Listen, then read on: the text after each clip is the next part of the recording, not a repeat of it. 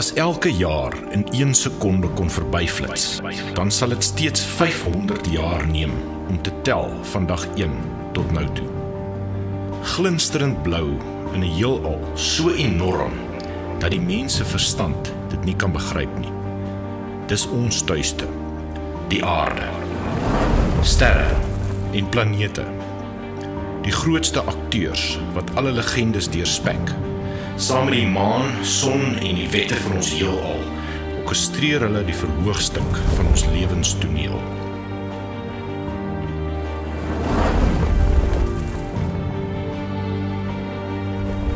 In nederigheid buig elke planeet soos 'n spikkel teen ons son.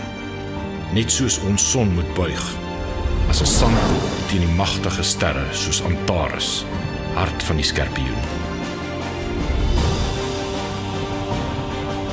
En die klein jakkalsies, die asteroïde wat ongemerk die aarde bekruip, maar genoeg was om al die dinosourusse 65 miljoen jaar gelede soos water van 'n nat hond se rug af te skud. Hemelsvoorwerpe. Kosmiese prosesse. Kom kry 'n antwoord in sterrewag in die heelal met baie meer vrae.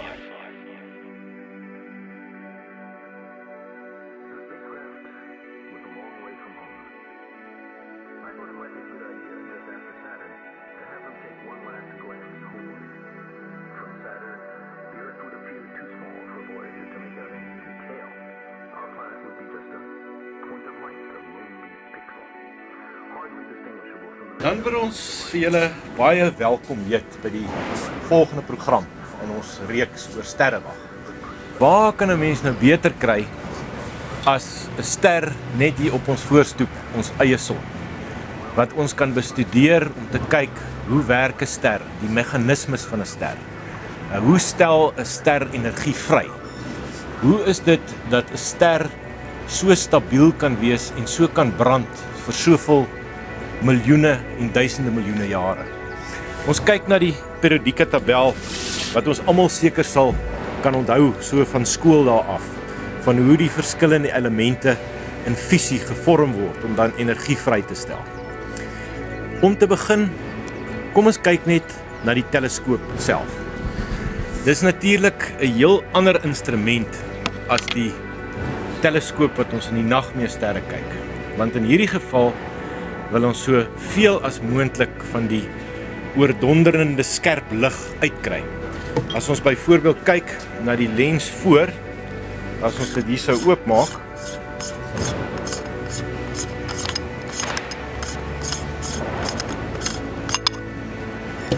dan sal ons sien allerlei tipe filters om soveel as moontlik van die lig uit te hou. Want as mens in die son kyk met 'n teleskoop, dan is jou oog weg in 'n oogwink. Die totale gewig van die teleskoop um wissel. 'n Swaar sterre teleskoop weeg seker omtrent 100 kg wat omtrent soortgelyk is ook aan hierdie een. Hier kan ons sien hy is nog nie reg gedraai in die son self nie. Hierdie is 'n meganisme met 'n battery wat die son volg omdat ons deur 'n teleskoop kyk en die vergroting soveel meer is as net die normale oog. As mens deur hom sou kyk, beweeg die son baie vinnig deur die lens waarna mens kan kyk. So daar's eintlik 'n battery met 'n klein motortjie wat hom volg sodat ons ons kan inkyk hierso in die oogstuk dat ons nie die heeltyd die teleskoop moet verstel sodat ons die ding waarna ons kyk wat natuurlik nou die son is, die heeltyd in sy gesigsveld moet hê nie. Um dit word outomaties gedoen. Aan hierdie binnekant is daar dan 'n klein oop venstertjie waar mense hierdie teleskoop kan stel uh eintlik die aand voor die tyd om seker te maak dat hy in die regte rigting wys en sodat hierdie volgmeganisme wat die teleskoop volg presies volgens die baan van die son is. Die beste tyd natuurlik om te kyk is in die middel van die dag soos waar ons omtrent nou staan want dan is daar die minimum atmosfeer waar deur die son moet kom om sy pad te volg dat daar so min as moontlik distorsie is op die beeld wat ons kan kry. Maar mens kan selfs met ander instrumente soos verkykers, ander teleskope ook na die son kyk, maar daar moet ek vir julle die grootste waarskuwing gee. om met 'n verkyker sonder die nodige filters of met 'n lens of met enige iets direk in die son te kyk, sal jy jou oog verloor met onmiddellike en permanente effek. So moet hierdie glad nie by die huis probeer nie. Ons vra nou vir Sean dan om hom net vir ons in te stel. Ons gaan hom eers reglynig met die son self sodat hy sy uh, baan kan volg en dan hom aanskakel en dan sal ons sien wat is die naaste ster hier op ons voorstel. Sean het vir ons nou als mooi ingestel. Die teleskoop volg die baan van die son sodat dit nie heeltyd uit die beeld uitgaan nie. En uh wat het mens nodig vir so 'n lekker sonkyk sessie? Anders as geen wolke, geen reën en 'n lekker sambreel. En dan ook nou 'n hoed dat 'n ou bietjie kan kyk dat jy jouself nou nie ten gronde brand in die proses nie. So eintlik sal ons hierdie sambreel um aan die teleskoop self vasmaak en dan kan ons begin kyk.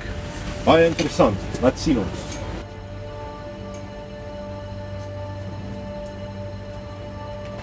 Soos ons kan sien op die son, het ons die situasie wat ons noem 'n sonuitbarsting het. Nou 'n sonuitbarsting is omdat die son beweeg om sy eie as, net soos wat hy om die aarde draai. Beweeg die son, maar daar's 'n verskil in die manier wat hy beweeg. Die son se middelste gedeelte, met ander woorde die ewenaar, draai eintlik 'n bietjie vinniger as die pole baie snaaks, maar dit is as gevolg van al die magnetiese aktiwiteit wat ons kry in die son. Nou as gevolg van hierdie verskil, net soos in die aarde waar die binneste gesmelte deel van die aarde um draai en 'n magnetiese veld veroorsaak, so gebeur dit ook by die son. Dan hierdie geweldige magnetiese aktiwiteit wat ons kry, veroorsaak hierdie sonuitbarstings. En dit is wat ons hier nou na sit en kyk. Daardie amper kan mens sien filamentjie of draadjie wat aan die kant van die son uitkom en so tipe van 'n boog vorm of dan wel net gebreek het. Dit is 'n amptelike sonuitbarsting.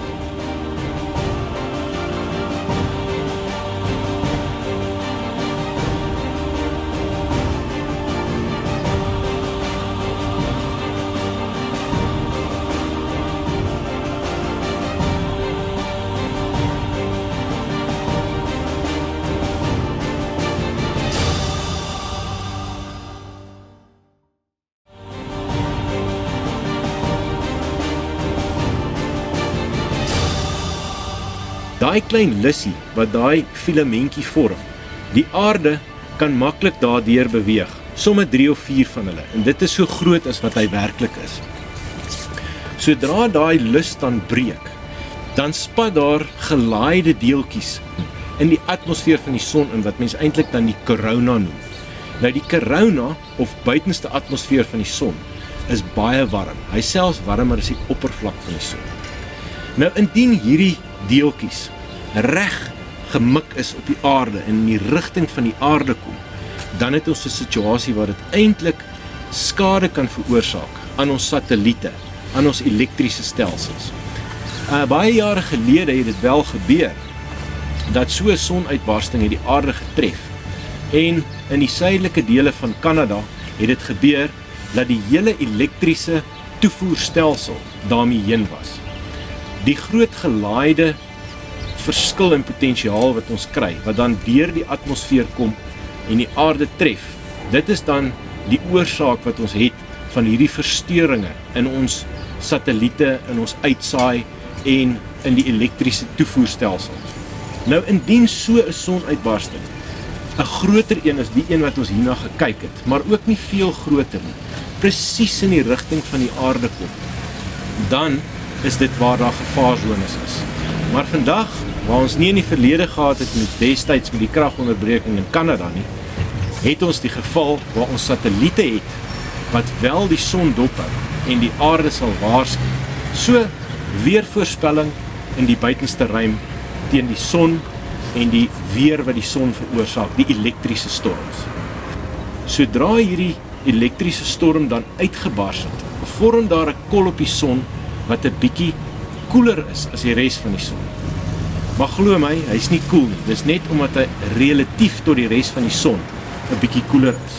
Nou omdat hy 'n bietjie koeler is, en mens kyk deur die teleskoop, dan vertoon hy as wat hulle noem 'n sonkol. Die Engelse naam wat baie algemeen gebruik word is sunspots.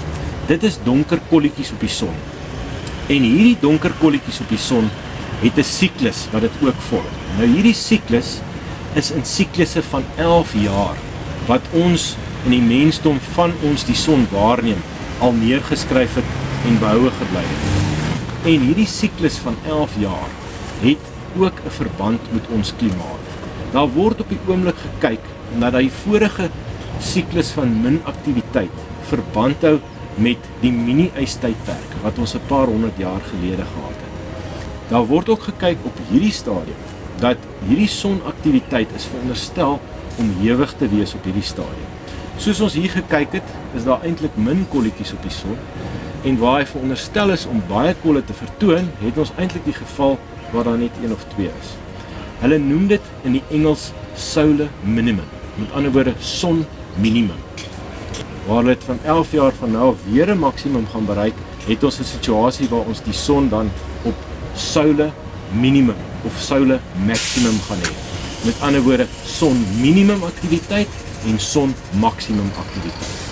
So elke 11 jaar het ons hierdie siklus waar ons het dat die son op 'n son minimum aktiwiteit en 'n son maksimum aktiwiteit vorm. En daar word gekyk na die verband tussen klimaatsverandering en son minimum en son maksimum. Hoewel dit nog nie wetenskaplik bewys is nie, lyk dit asof die mini-ystydperk van 'n paar honderd jaar gelede wel verband gehou het met die son minimum.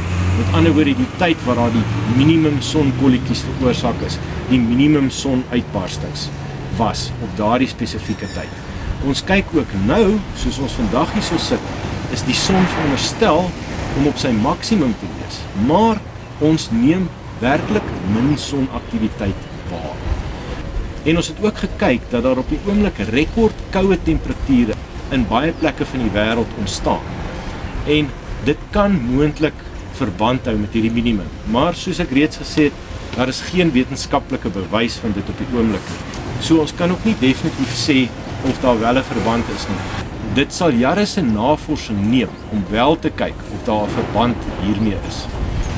Klimaatsverandering is iets wat veroorsaak word deur koolstofdioksied wat in die lug ingeblaas word deur menslike aktiwiteit.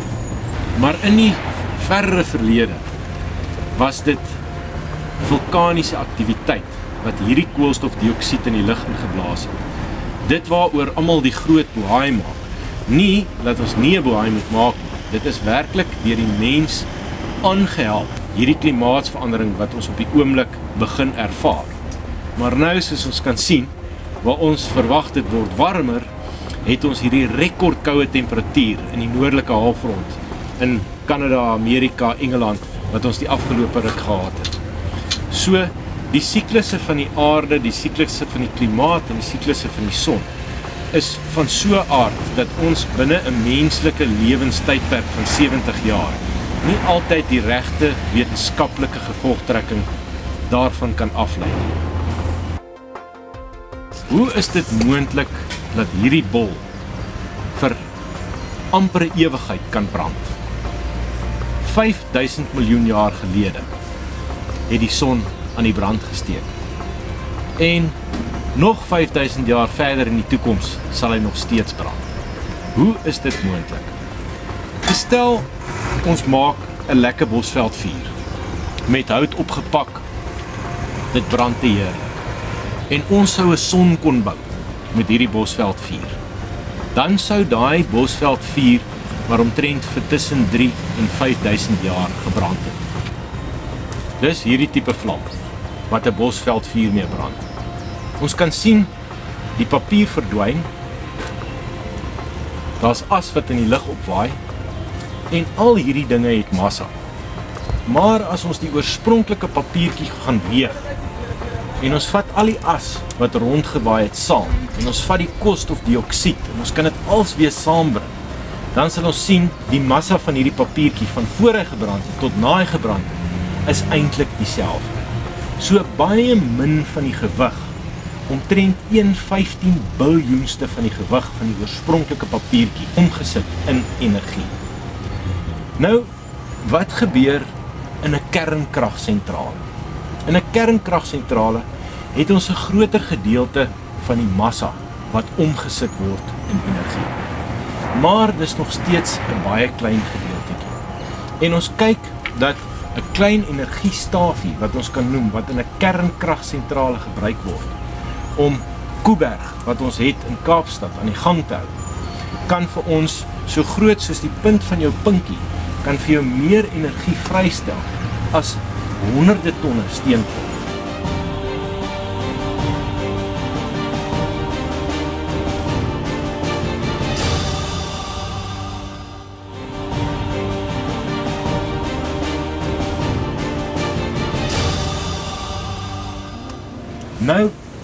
Gebeur hierso? Dit is die mees effektiefste manier om energie vry te stel in die natuur. Ons het waterstof waaruit die son bestaan. Nou hierdie waterstofbol word dan omgesit in helium. En hierdie helium vorm dan nadat die twee waterstofmolekules aan mekaar kan ons sê vasgeplak het. En ons sal later kyk na waar die energie vandaan kom en waarom dit so baie energie is. Maar sodra hierdie fusie voorkom, word daar energie vrygestel. En dit is wat die son maak brand. Nou, julle ken hierdie ding.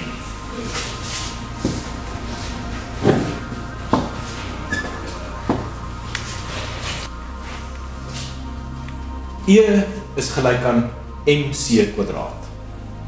Seker die bekendste formule in die wetenskap vandag.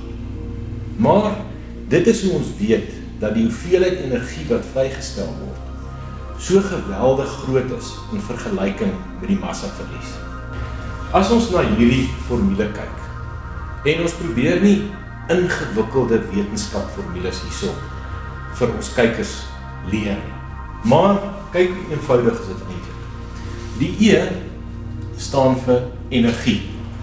En dit is die hoeveelheid van energie wat ons kyk wat die son vrystel. M staan vir massa. Nou massa is die hoeveelheid massa wat ons gaan verloor om die energie te kan vrystel. Maar die geheim van hierdie ontdekking van Einstein ook lê in die C. Nou C is die spoed van lig. Nou, lig beweeg ongelooflik vinnig. In 1 sekonde sal dit 7 keer om die aarde gaan. Ons kyk na 300 1000 km per sekonde. Dis ongelooflik vinnig. En as ons dit sou omskakel in spoed soos ons dit ken in kilometer per uur, dan sit dit 1000 miljoen en 70 km per uur. Nou vat 1000 miljoen en 70 en maal dit met 1000 miljoen en 70. Dan kyk jy watter geweldige groot getal ons aan hierdie kant kry.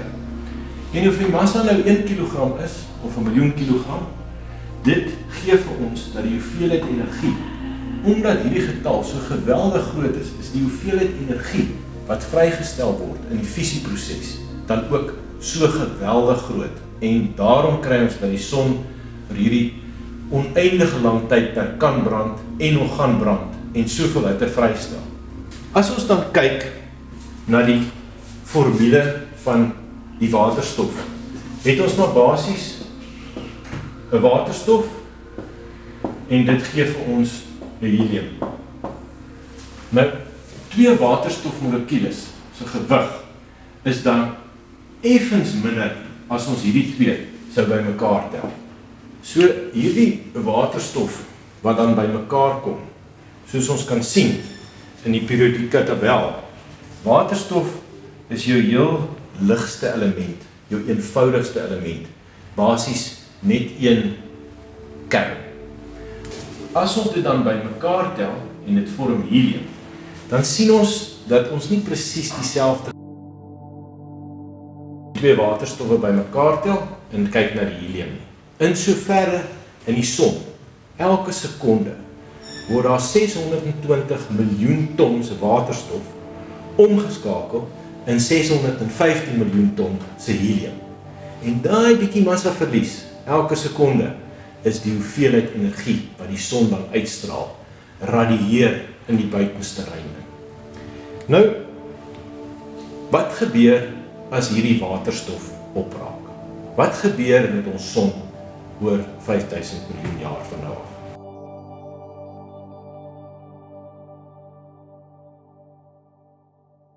Kom ons kyk bietjie wat gebeur as hierdie waterstof nou eendag opraak. Want opraak sal dit opraak. Al is dit nou oor soveel duisende jare van nou af. Ons kyk na die periodieke tabel. En ons begin heel bo by die waterstof gedeelte. En dit is die volopste element wat ons het. Maar soos wat dit opraak, het ons nou helium gevorm. En soos wat dit aangaan, word al die elemente al hoe swaarder, swaarder, swaarder tot ons aan die einde van die dag by yster kom wat omtrent hier lê en is daar nog 60 verdere elemente wat swaarder is as yster. Maar dit is wat 'n periodieke tabel is. 'n Periodieke tabel is nie hierdie vreeslike ingewikkelde wetenskaplike dokument nie.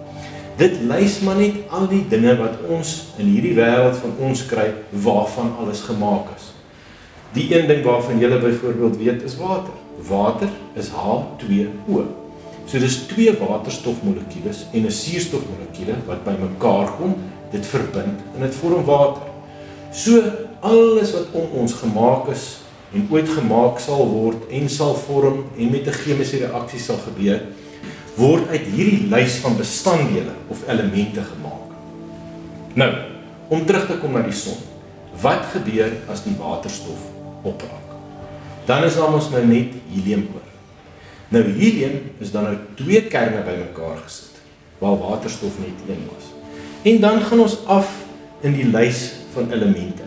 Dan sal ons sien byvoorbeeld iets soos suurstof en koolstof wat ons goed ken. Suurstof wat ons asemhaal, koolstof waarvan amper alles gemaak is, soos byvoorbeeld die lood in 'n potlood. Sodra die waterstof opraak, net die helium byhoor, word die helium omgeskakel in van hierdie ander elemente. Nou die rede hoekom ons dit nie vandag hier algemeen op die aarde kan doen nie, is die temperature daarbey betrokke. Ons praat van miljoene grade Celsius voor hierdie tipe van kernfusie reaksies plaasvind.